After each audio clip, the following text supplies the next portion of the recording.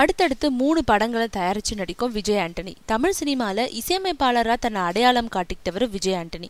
காதலில் விழுந்த படத்தில் நாக்குமுக்க பாடல் மூலமாக பட்டி தொட்டி எங்கும் கலக்குன அவர் விஜய் நடித்த வேட்டக்காரன் வர பல படங்களில் மெகா ஹிட் பாடல்களை கொடுத்துட்டு வந்தார். ஆனால் திடீர்னு அவருக்குள்ளே தூங்கிக்கிட்டு இருந்த நடிகன் விழித்ததுனால நான் என்ற படத்தில் நாயகனை அவதாரம் எடுத்தார். அந்த படம் பெரிய வெற்றி இல்லைனாலும் விஜய் ஆண்டனிக்கு நல்ல பேரை ஏற்படுத்தி கொடுத்தது. விளைவு அதுக்கப்புறம் நடிப்பு மேலே அவருக்கு அவருக்கான ஆர்வம் இன்னும் அதிகமாயிடுச்சு. அதனால படங்களுக்கு இசையமைக்கிறத குறைச்சிக்கிட்டு நடிப்புக்கு கூடுதல் நேரத்தை செலவிட்டு வராரு. அந்த வகையில் இப்போ சலீம் என்ற படத்தில் நடிச்சிட்டு வரும் விஜய் ஆண்டனி அடுத்தடுத்து திருடன் சைத்தான் இந்தியா பாகிஸ்தான் பார்டர்னு மூணு படங்களில் நடிக்கிறதுக்கு கதை கேட்டு வச்சிருக்காரு.